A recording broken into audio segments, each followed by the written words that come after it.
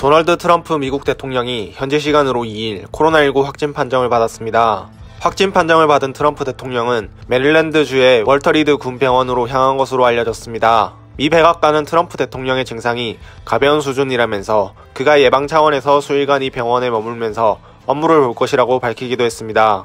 백악관에서 헬기를 탑승하기 전 모습을 드러낸 트럼프 대통령은 검은 마스크를 쓰고 나타나 기자들의 질문에는 별다른 답변을 하지 않은 채 엄지손가락을 들어 보였습니다. 트럼프 대통령은 헬기 탑승 직후 자신의 트위터에 영상 하나를 게재했는데요. I want to thank everybody for the tremendous support. I'm going to Walter Reed Hospital. I think I'm doing very well, but we're going to make sure that things work out. The First Lady is doing very well.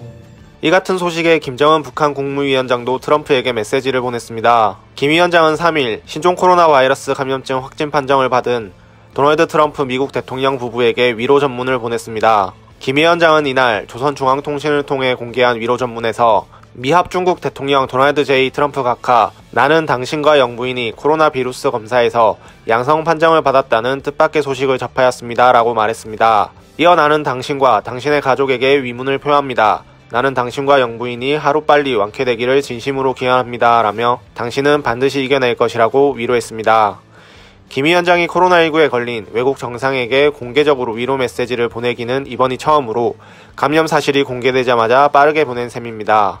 코로나에 자신만만하다 확진 판정을 받은 트럼프. 그런 트럼프를 향해 빠른 위로 전문을 보낸 김정은. 여러분은 어떻게 생각하시나요?